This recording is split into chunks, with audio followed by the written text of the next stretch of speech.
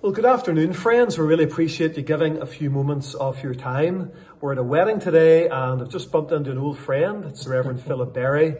And Philip is serving the Lord in Lisburn, the same city uh, that we live in ourselves, in the Congregational Church in the County Down side of Lisburn. So I just asked Philip to give a word of testimony and tell us how he came to know the Lord. And Philip, it's over to you. And thanks for doing this at short notice. It's much Thank you. appreciated now. So, thank Yes, you. we're at this wedding today and we've enjoyed uh, fellowship together. But my story begins way back in the town of Tandragee in County Armagh.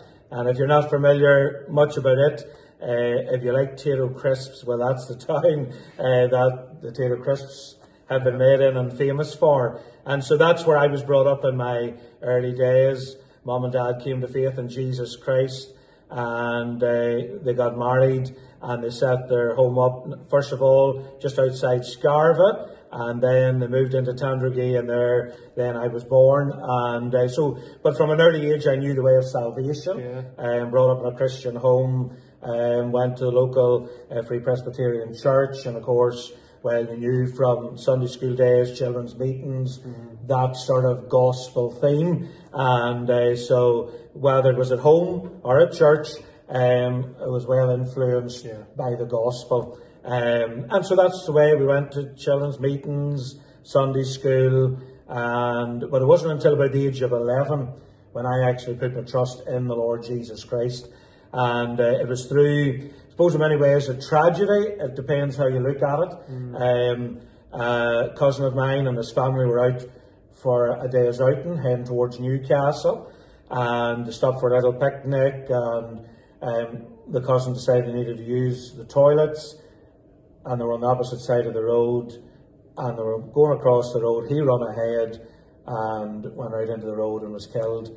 Um, and uh, so that still stays with you even today. Simon was his name. But then on the other side, his mum and dad looks at it that through that death, it had a real impact on my life. Yeah. And I realised I wasn't ready to meet the Lord. He was already a, a Christian. Yeah. Even though he was only around seven years of age, he already had come to faith in Christ. Sure. I was a bit older, and here was me, and I hadn't. Brought up in the same church, all that sort of thing, but I hadn't taken that step. And then I began to think, well, if that was me, where would I be in, in eternity?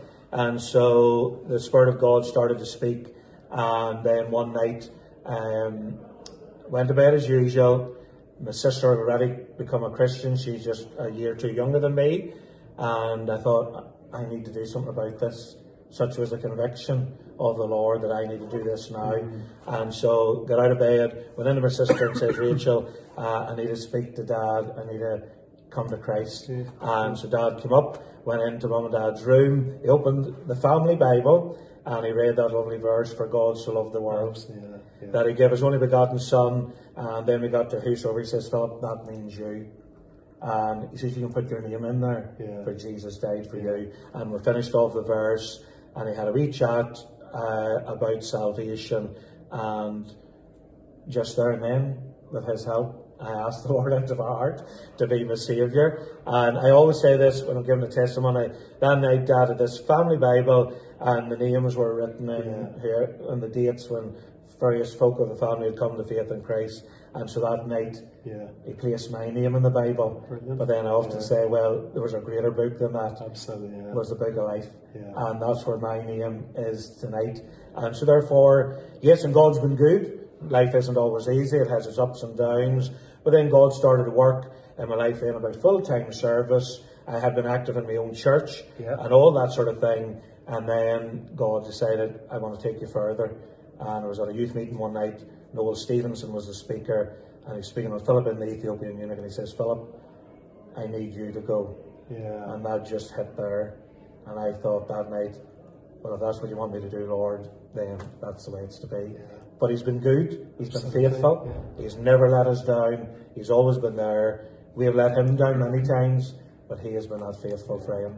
And it's a joy just not knowing Him as just a Saviour, Yeah. but to be able to serve Him and give something back to Him for what He has even done for me and saving me by His grace. It's wonderful. Yeah. Well, excuse me, Philip, I really appreciate you giving up your time to share a word of personal testimony.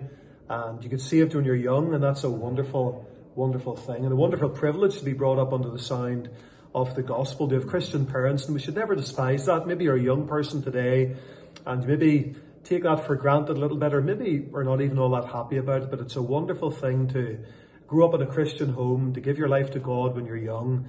And Philip has been serving the Lord for a lot of years now, and mm-hmm. you're in Lisburn in the Congregational Church, mm-hmm. which is just not all that far off the Saintfield Road roundabout. Right. Mm-hmm. So if you're coming into Lisburn from that side of the town, before you go over the Union Bridge, just up back up the road a bit, the Congregational Church on the left hand side, and you'll be able to hook up with this man there, and we really appreciate your brother. No, it's appreciate, and it's lovely to be able to serve the Lord together yeah. in the city of Lisburn, yeah. and we have that same mind yeah. as to see precious souls come to know yeah. our Saviour you too. long so, for that, don't oh, you? Oh, you do.